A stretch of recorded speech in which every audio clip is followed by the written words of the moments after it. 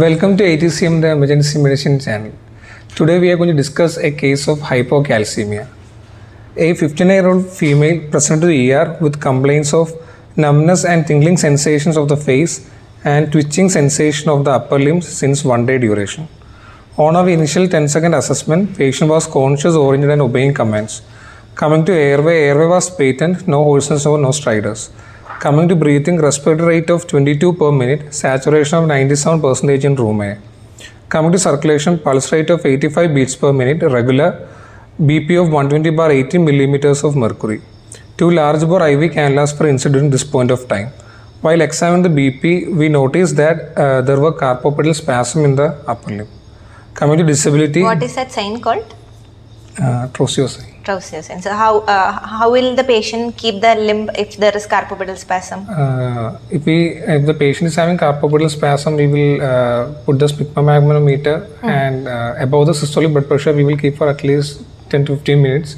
No need of 10 to 15. More than the systolic BP, more than 20 millimeter of mercury of systolic BP, keep it for 2 to 3 minutes. That time itself we will be uh, having carpopedal spasm. Otherwise, if we are uh, inflating the BP cuff for more than 15 minutes in a normal patient, it will be very difficult. So, only maximum 2 to 3 minutes, more than um, 20 of the systolic BP, above the systolic BP. Okay. And then what will be seen in the there will be extension of the elbow, uh, flexion of the wrist, uh, flexion of the metacarpophalangeal joint with the adduction of the fingers and extension of the interphalangeal joint. Yes. So extension of the elbow, flexion of the metacarpophalangeal uh, wrist, flexion of the metacarpophalangeal joint, abduction of the fingers, and extension of the interphalangeal joint will be seen. Okay.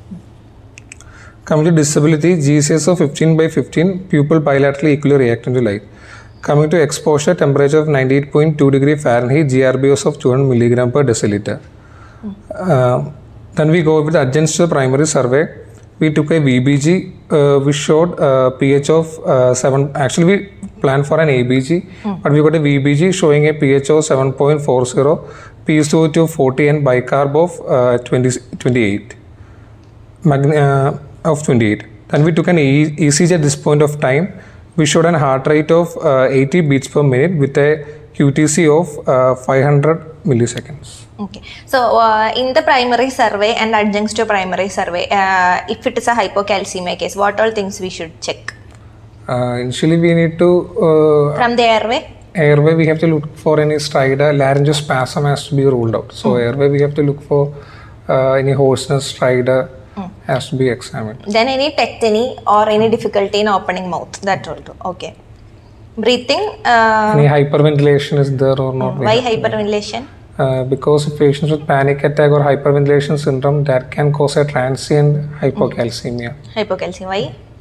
uh, due to alkalosis. Uh, due to alkalosis, the albumin uh, get uh, more sites for binding to calcium. As a result, there will be free calcium or ionized calcium will come to low. So how is calcium distributed in our body? Uh, 50 percentage will be in bone, 40 percentage will be bound to albumin and 100 out of the 100 percentage of calcium in our body 99 percentage will be in the bone. Only 1 percentage is in the blood blood cells. Out of that 1 percentage 50 percentage is ionized. Ionized means it is free, Free form calcium. free calcium. Okay. And uh, rest 40 percentage is bounded to albumin and rest 10 percentage bounded to phosphorus phosphate okay so 40 percentage is only bounded to albumin. And if the patient is having some uh, metabolic alkalosis or respiratory alkalosis what will happen is the alkalosis will increase the tendency of the free ionized calcium in the body to go and bind to albumin. So that will cause a hypocalcemia to the patient. Okay. Uh, then so respiratory alkalosis then circulation? Uh, circulation. Secondary to hyperventilation, there can be tachycardia. Uh, in hypocalcemia, the, uh, there can be bradycardias. Bradycardia and one more thing is there.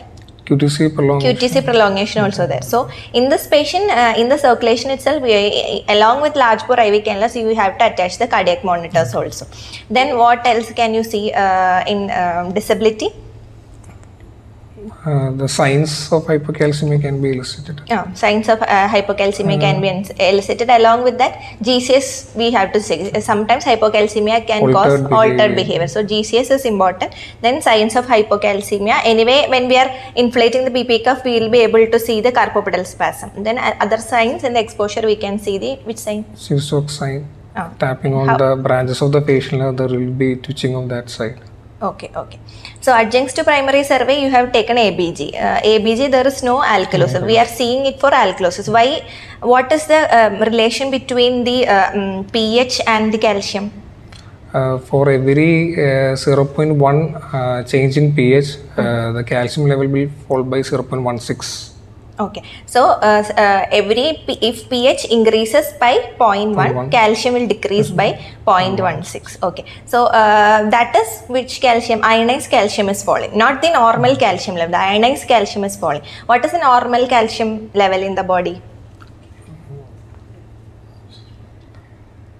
It is around 8.5 to 10.5. Normal Ah, calcium in the body. Ionized calcium is 50 percentage of that. So for around uh, 5.6 to uh, sorry 4.5 to 5.6. So the ionized calcium value will fall according to the ABG change. Uh, what was ionized calcium in our ABG? Uh, it's 0.50. 0.50. That is in millimoles. Okay, okay. So that is less. Okay. Then ECG. Uh, what all things will you see? QTC. bradycardia, QTC prolongation, and any arrhythmias will be there. uh, arrhythmias will- and in a case of uh, along with that in case of severe hypocalcemia there can be Osborn waves what is Osborn waves Uh, uh, during the QRS complex, there will be it is uh, it is equal to RBBB pattern. You have seen RBBB no? So mostly uh, it will be like a rabbit ear pattern. Uh, it is seen Osborn waves are seen in two conditions. One is hypocalcemia and one is hypothermia. hypothermia hypothermia. so mm, this Osborn waves can also be seen in hypocalcemia. Okay. Uh, then at this point of time, we have given uh, injection calcium gluconate 10 ml 10 percentage over 10 minutes. And we reassess the patient. Still, the patient was having the twitching and muscle spasms were there. So we give another dose of injection calcium gluconate. And we have to given totally three doses of calcium gluconate, after which the patient could recover. Uh, then so we the indication of IV calcium gluconate in this patient was uh, one ECG changes and also this muscle spasms were Okay, okay. signs. Then we come to ample history. A 59 year old female post thyroidectomy five years back presented to the ER with complaints of numbness and tingling sensations all over the face and twitching of the upper limb since one day. Uh, there was associated spasm of the wrist and the fingers. Uh, the patient gave history of similar episodes in the past also. Uh, there was no history of any stridor, palpitation, convulsions, uh, altered behavior, irritability, depression, breathlessness, or giddiness. No history of any allergies. The patient was currently So on this, these were the clinical manifestations. What all other clinical manifestation does hypocalcemia have? uh, muscular uh, clinical symptoms like uh, we can see fatigue, uh, generalized tiredness can be there, cramps, muscle cramps can be there. Coming to neuromuscular CNS pictures like uh, there can be depression, uh, irritability, altered behavior, convulsions, hallucinations can be the dermatological features like uh, coarse dry skin, uh, brittle nails can be seen. Serious manifestations there can be hypertension, congestive cardiac failure, and ECG findings correspond to that can be seen. Then miscellaneous manifestations like cataract, benign intracranial hypertension, like can be seen. Okay. Uh, no history of any allergies. The patient is currently on uh, calcium and uh, thyroid supplements. Uh, the patient also gives history of similar episodes in the past. Immediately after post-thyroidectomy, the patient had history of hypoparathyroidism secondary to surgery. The patient had similar episodes of this uh, past two episodes in one year. And currently the patient was on calcium and thyroid supplements, but for past two weeks, the patient was not taking properly the calcium supplements also. Okay, so how much? Um, so in the sample history, the important history is um, regarding the past history, any past triggering factor of uh, hypocalcemia. So here we got a triggering factor as post-thyroidectomy. Okay, uh, what else can be there as a triggering factor? Uh, triggering factors uh, one is most common is secondary to surgery post thyroid surgery is another thing uh, then there can be acute renal failure or ckd even can cause So uh, a history of renal failure renal should be asked. should be asked uh, then any acute stressors like uh, there can be secondary hemolysis tumor lysis syndrome uh, can cause uh, hypocalcemia Uh, then any drug intake like cisplatin, aminoglycosides, steroid intake, bisphosphonates. So drug history is very important. So uh, especially in elderly females, they might be taking bisphosphonates. So um, the, the bisphosphonate, then uh, calcitonin, then amphotericin B, citrates, uh, steroids can Okay. cause. So um, uh, along with that, some antibiotics like tobramycin, gentamicin, and all. And we should also ask for any recent history of any blood transfusion because blood transfusion will have citrate content. So that can also cause hypocalcemia. Okay. The last meal was taken at 2 p.m. So what is the normal calcium uh, uh, daily requirement for a patient? 2 gram. One One, one, one gram is one gram per day. So this patient is already having that, and patient should, uh, along with the dietary, if at all dietary is deficient, the patient has to take one gram calcium every day. So patient recently uh, has multiple history of hypocalcemia, skipped the calcium tablet, and now came with hypocalcemia. Okay. Then we again reassess the patient uh, and still ECG changes were present and patient complaining of uh, recurrent muscle spasms also. So we started on uh, infusion of calcium.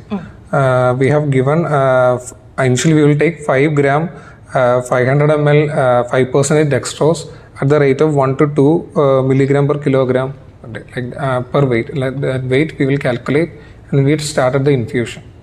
So we can uh, take 1 liter of D5 water. In that we can take 5 ampules of 10 ml 10 percent of calcium gluconate and you can start as a slow infusion can be started and uh, how should you monitor calcium? Uh, every uh, sixth hourly. Every sixth hourly you need to calculate. Okay. So before calculating the uh, correcting the calcium, what else you should rule out? Uh, first, we need to send the albumin level and uh, look at the corrected calcium level. Here, What is the relation between albumin and calcium? uh, the corrected calcium is uh, serum calcium plus 4 minus serum albumin into 0.8. Mm. Okay. So what is the albumin in this patient? Uh, 3.5. The corrected calcium came at around uh, 7. 7. Okay. 7. Okay. Okay. Uh, so the uh, albumin we need to check then Then. Here, this patient we already know the cause, but if at all a patient comes without a cause, we need to think of such things and we need to send investigation. Then we have to uh, look at the parathyroid hormone level and magnesium levels. okay. So, uh, what is the importance of parathyroid? uh, parathyroid hormone, uh, based on parathyroid hormone levels, there can be true hypoparathyroidism and pseudo hypoparathyroidism. In true hyperparathyroidism, like in AKS, CKD, uh, post surgery, everything, there will be uh, decreased serum calcium, increased uh, phosphorus, and decreased parathyroid hormone level. That is a true hypoparathyroidism. So, uh, uh, parathyroid, how it is important is parathyroid will mobilize the calcium from the bones and it will increase the absorption of calcium from the intestine and it will uh, decrease the excretion of calcium. So, parathyroid is very important. Uh, what is the uh, role of vitamin D?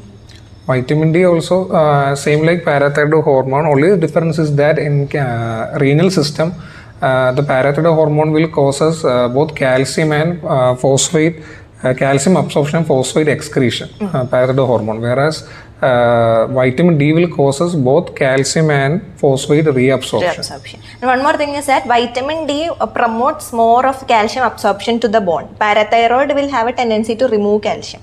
Okay, so uh, hypo hypoparathyroidism should be suspected. Uh, that can be secondary to post-thyroid surgery. Then, Uh, magnesium levels. Ah, what is the relation uh, between magnesium and uh, calcium? Uh, magnesium is one of the most common reversible causes of hypocalcemia.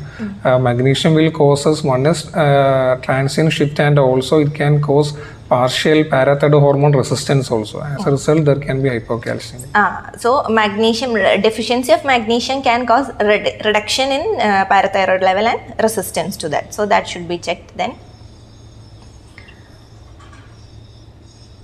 RFT, uh, RFT to check for the renal function. so if there is any renal failure, there can be hypocalcemia and hyperphosphatemia. Okay.